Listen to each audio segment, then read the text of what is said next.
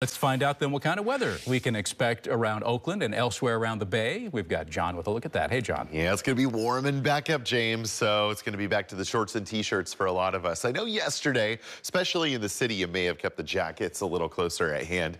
This right here is your view from Mount Tam, looking down at the bay that is shrouded out in a blanket of fog that is not going to last quite as long as yesterday's did. We are seeing a few misty drizzly spots. I know I turned my windshield wipers on there for a moment on into work, you're likely going to do the same if you're leaving within the next few hours. Now, as we work into the weekend, this high pressure ridge really starts to win out. That low behind me becoming less a part of the picture. With this high building in, we are going to see a generous southern flow, which is going to mean warmer conditions across the Bay Area as opposed to this onshore breeze that has been keeping us cool and seasonable.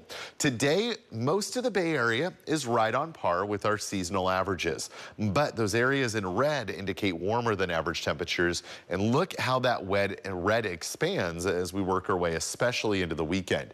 You notice those warmer than average temperatures really building in more and more as we move especially into Saturday and Sunday, so some warmer temperatures are around the corner.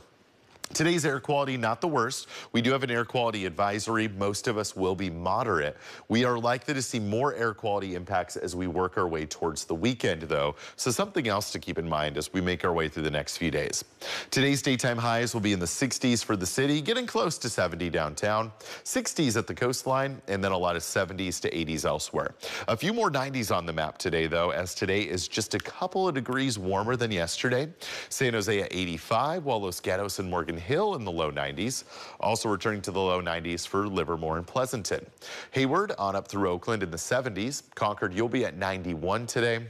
Antioch, our warmest spot at 94 degrees for your daytime high.